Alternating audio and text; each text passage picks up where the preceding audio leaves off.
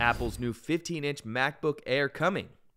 Apple's new 15 inch MacBook Air could launch as early as April, according to a new report from Ross Young, CEO of Display Supply Chain Consultants. He estimates that production of a 15.5 inch display panel for the new MacBook Air began this month, suggesting early April as a possible release date. The larger MacBook Air has been rumored for the past year, with Bloomberg also predicting a spring 2023 launch.